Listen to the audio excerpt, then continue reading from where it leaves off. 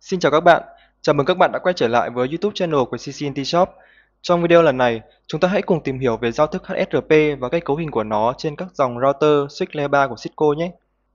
Nếu các bạn đã từng nghe đến các giao thức dự phòng layer 3 như là VRP, GLBT thì HSRP cũng hoàn toàn tương tự như vậy. Tuy nhiên, HSRP là giao thức độc quyền của Cisco và chỉ có thể cấu hình trên các router hoặc là switch của Cisco. So với một số chuẩn giao thức chung thì HSRP cũng có một số điểm khác biệt.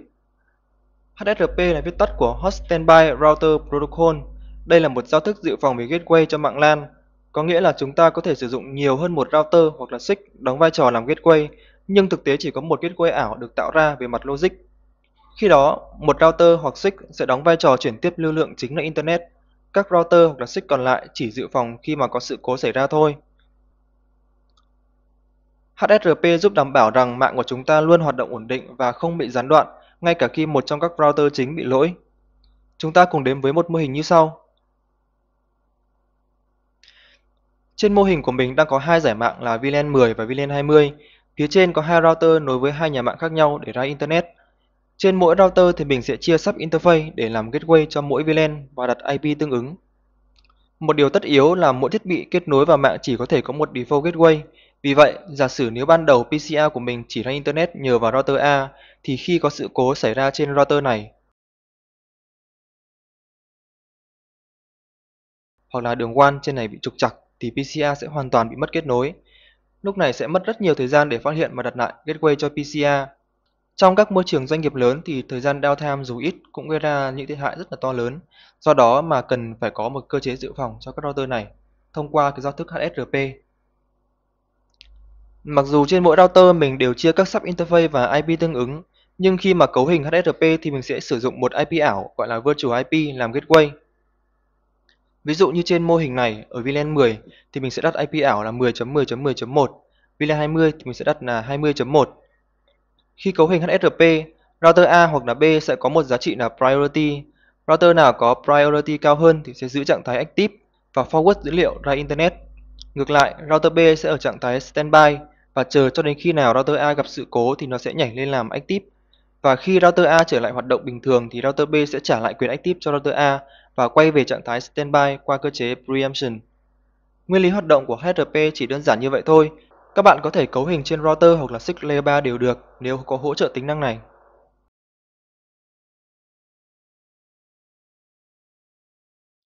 Để cấu hình HRP thì các bạn cũng cần hiểu một số đặc điểm của giao thức này.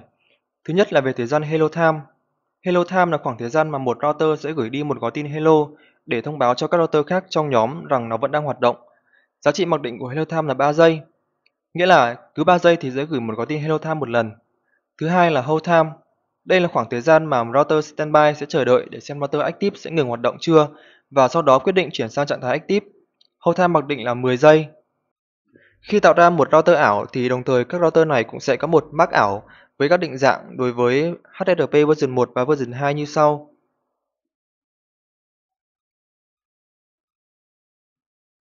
Các router hoặc là switch layer 3 chạy HTTP giao tiếp với nhau thông qua địa chỉ multicast là 2224.0.0.2 đối với version 1 và 224.0.0.102 đối với version 2.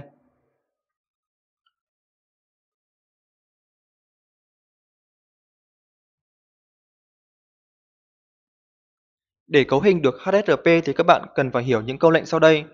Trước tiên, để cấu hình HTTP thì các bạn phải vào trong mode interface. Nếu có VLAN thì các bạn phải vào sub interface trên router hoặc là interface VLAN trên switch nhé. Và trên các interface hoặc VLAN này, các bạn cũng cần đặt các địa chỉ IP như thông thường. Tiếp theo, các bạn cũng sẽ cần cấu hình HTTP với các câu lệnh bắt đầu bằng standby và group number. Giá trị group thì để nhận biết một nhóm HTTP riêng biệt. Ví dụ như là cùng một VLAN thì chúng ta sẽ có cùng một group number.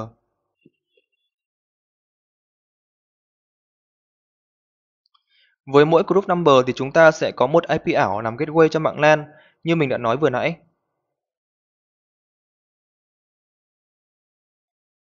Tiếp theo, chúng ta cũng cần có giá trị priority để quyết định router nào sẽ làm active và router nào sẽ làm standby. Ở câu lệnh này, chúng ta sẽ enable cơ chế preemption để khi một router bị lỗi và mất quyền active, nếu mà nó hoạt động trở lại thì nó sẽ lại chiếm quyền active bởi vì là priority của nó đang cao hơn. Điều này giúp mạng của bạn hoạt động đúng theo quy hoạch ban đầu, nhất là với những thiết bị có hiệu năng cao hơn mà các bạn muốn hướng lưu lượng đi qua đó Tuy nhiên, với những mạng nhạy cảm về thời gian downtime thì các bạn cũng có thể cân nhắc không enable cơ chế này để tránh downtime khi chuyển đổi vai trò. Tiếp nữa là xác thực trong HTTP.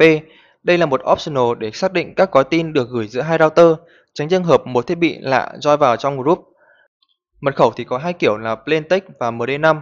Các bạn đặt mật khẩu giống nhau trên một router nhé.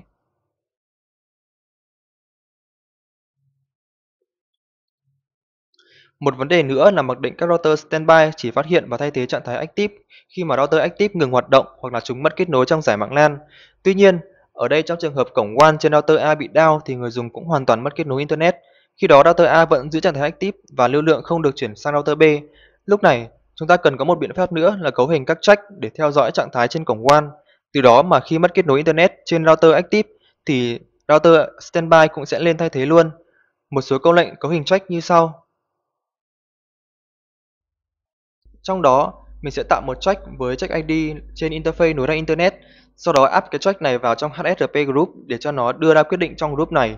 Nếu mà interface này down thì chúng ta sẽ decrement, tức là giảm cái giá trị priority của group này xuống để nó làm standby hoặc là shut down luôn cái group này. Và đó là lý thuyết về các câu lệnh quan trọng để cấu hình HSRP. Bây giờ chúng ta sẽ thực hiện cấu hình trên giao thức này luôn nhé.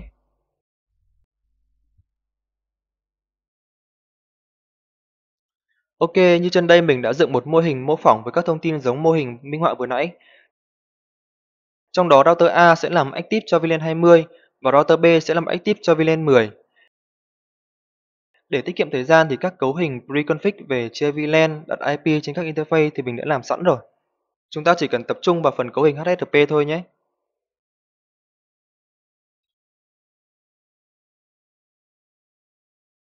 Mình sẽ cấu hình trên router A trước.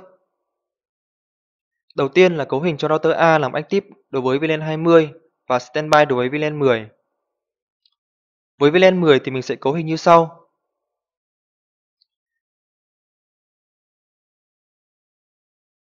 Mình sẽ đặt group theo VLAN ID là 10 và IP ảo ở đây là 10.10.10.1.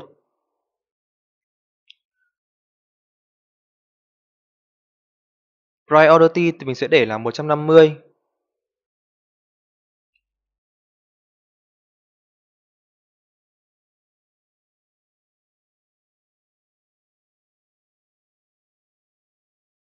Mật khẩu xác thực mình sẽ đặt là CCNT Shop.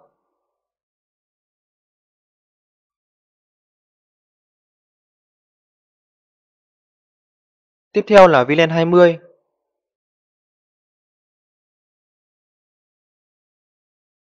IP ảo của group này sẽ là 10.10.20.1. Vì mình muốn cho lưu lượng của VLAN 20 đi qua đây nên là priority mình sẽ để là 200.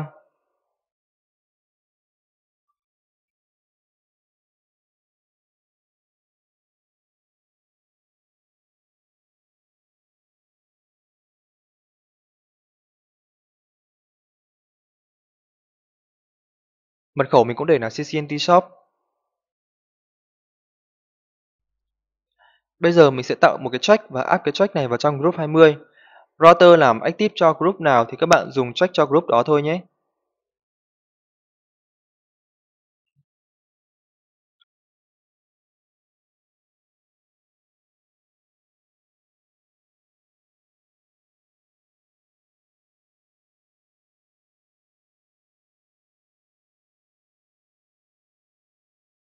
Với câu lệnh này, giả sử interface E0 số 0 của mình down thì router sẽ giảm priority đi 60, tức là priority của group 20 của mình chỉ còn 140 thôi và sẽ trở thành standby để lưu lượng tiếp tục đi qua router B. Ok, tiếp theo bây giờ mình sẽ cấu hình cho router B để làm active đối với VLAN 10 và standby đối với VLAN 20. Các bạn chỉ cần đổi priority là được. Mình sẽ làm nhanh nhé.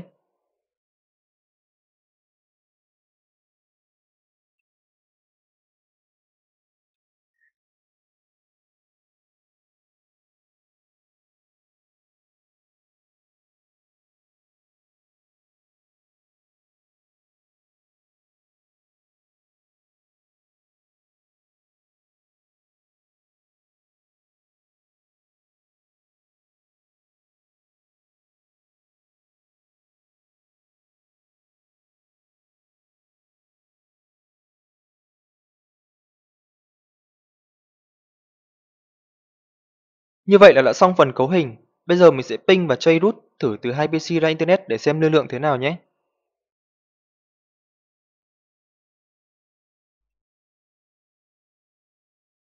Các bạn có thể thấy PC A thuộc VLAN 10 đã đi qua router B để ra Internet.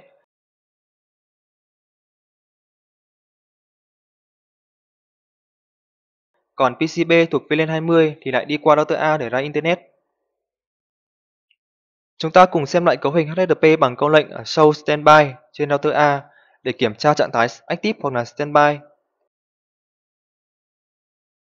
hoặc là virtual IP, được ưu tiên hoặc timer vân vân trên mỗi group.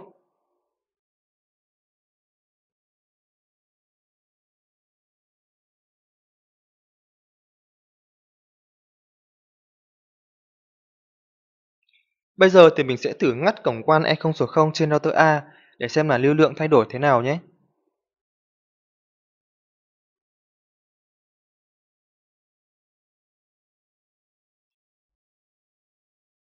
Như vậy là nhờ cấu hình check 20 thì PCB của mình đã chuyển tiếp lưu lượng qua router B, bởi vì router A đã chuyển thành trạng thái standby với group 20. Nếu các bạn ngắt cổng LAN E0.0 thì router A sẽ chuyển về trạng thái init và không gửi bất cứ gói tin nào.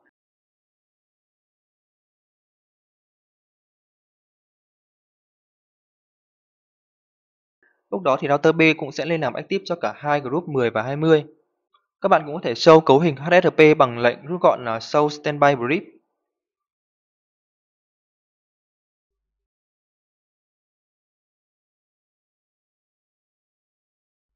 Ok, như vậy là mình đã demo về giao thức HTTP và cách cấu hình của nó trên router Cisco. Đối với SIG Layer 3 thì các bạn cũng làm tương tự thôi, chỉ khác là chúng ta không cấu hình HTTP trên sub interface mà cấu hình trên giao diện SPI của từng VLAN. Trong quá trình hoạt động của HTTP, có thể phát sinh nhiều lỗi mà các bạn không thể kiểm soát hết bằng lệnh sâu được, thì khi đó chúng ta phải cần đến debug. Về cách debug thế nào và những trường hợp nào có thể xảy ra lỗi thì mình sẽ làm trong những video tiếp theo nhé. Nếu các bạn có thắc mắc trong video lần này thì hãy để lại comment để mọi người cùng trao đổi. Đừng quên like, share và subscribe để ủng hộ mình nhé. Cảm ơn các bạn.